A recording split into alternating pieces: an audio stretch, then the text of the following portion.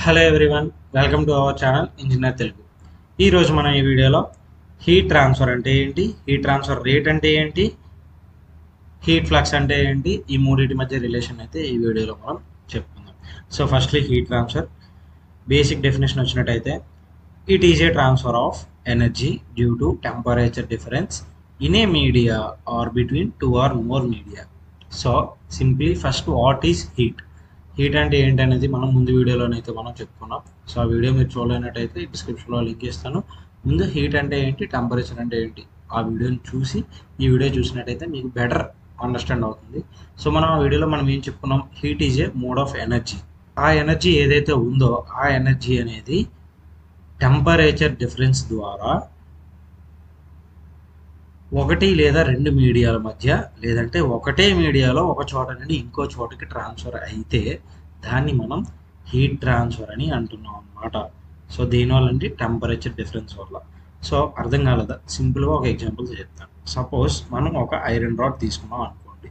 ఇది ఆల్రెడీ మొత్తం అంతా కలిపి ఒకటే టెంపరేచర్ రూమ్ టెంపరేచర్లో ఉంది. సో దీన్ని మనం ఒక మీడియా అనుకుందాం. దీనికి మనం హీట్ అనేది ఇచ్చాం. ఈ ఎండ్లో మనం హీట్ ఇచ్చాం. అప్పుడు ఏం జరుగుతుందండి? ఈ ఎండ్ మాత్రం హీట్ అవుతుంది. అవునా?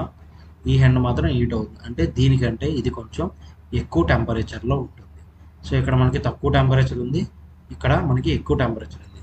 సో ప్రాక్టికల్గా మీరు చూసినట్టయితే ఎప్పుడైనా గమని గమనిస్తే హీట్ అనేది ఏమవుతుంది? కొంతసేపటికి యూనిఫామ్గా డిస్ట్రిబ్యూట్ అవుతుంది. ఎందుకు అలా జరుగుతుంది? దాన్నే మనం హీట్ ట్రాన్స్ఫర్ అంటాం అనమాట ఎందుకంటే ఇక్కడ మనకి హై టెంపరేచర్ ఉంది. ఇక్కడ మనకి లో టెంపరేచర్ ఉంది.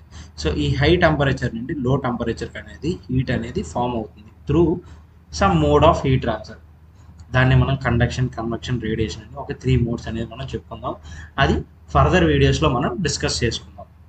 సో ఇక్కడ ఏం జరుగుతుంది? టెంపరేచర్ డిఫరెన్స్ ద్వారా హీట్ అనేది ఒక చోట నుండి ఇంకో చోటకి అనేది ట్రాన్స్ఫర్ అవుతుంది.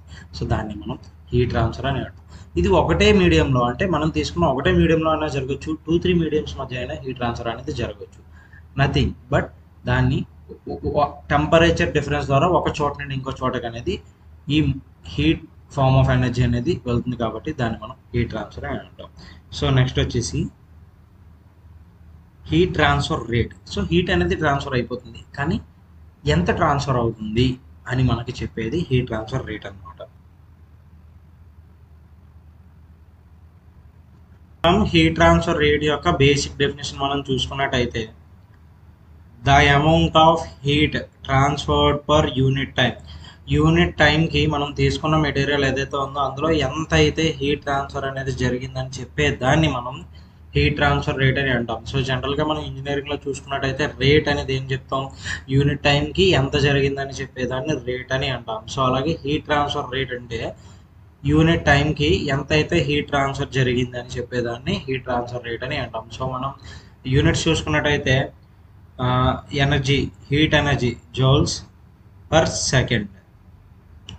Unit టైంకి ఎన్ని జోల్స్ ఆఫ్ ఎనర్జీ అనేది ట్రాన్స్ఫర్ జరిగిందని చెప్పేదాన్ని హీట్ ట్రాన్స్ఫర్ రేట్ అని అంటాం.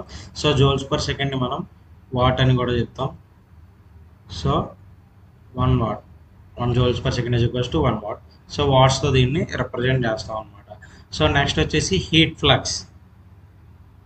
So heat flux అంటే బేసిక్ డెఫినేషన్ వచ్చేసి the amount of heat transferred per unit area in unit time so unit టైంకి యూనిట్ ఏరియా ద్వారా ఎంత అయితే హీట్ అనేది ట్రాన్స్ఫర్ జరిగింది అని చెప్పేదాన్ని హీట్ ఫ్లక్స్ అని అంటారు అనమాట సో జనరల్గా మనం ఒక సర్ఫేస్ ఏరియా తీసుకున్నాం అనుకోండి దీన్ని మనం ఈ హోల్ సర్ఫేస్ ఏరియాని మనం యూనిట్ కింద భావించవచ్చు లేకపోతే ఒక చిన్న పార్ట్ మనం యూనిట్ కింద భావించవచ్చు అందులో కంటే ఇంకా చిన్న పార్ట్ మనం యూనిట్ కింద మనం భావించవచ్చు అనమాట సో ఇప్పుడు మనకి the amount of heat transferred per unit area in unit time unit టైంలో అంటే క్షణకాలంలో ఏదైతే మనం తీసుకున్న యూనిట్ ఏరియా ఉందో ఆ యూనిట్ ఏరియాలోని ఎంత అయితే హీట్ అనేది ఫ్లో అవుతుందో దాన్ని మనం హీట్ ఫ్లక్స్ అని అంటాం అనమాట సో యూనిట్ దీనికి యూనిట్స్ మనం డెరైవ్ చేసుకున్నట్టయితే మనోడు ఏం చెప్తున్నాడు?